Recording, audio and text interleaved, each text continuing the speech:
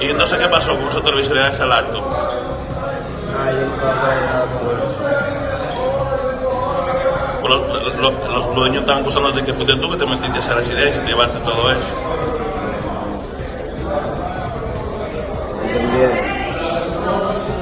¿Y nombre tuyo puede vivir? Raúl. ¿Raúl qué?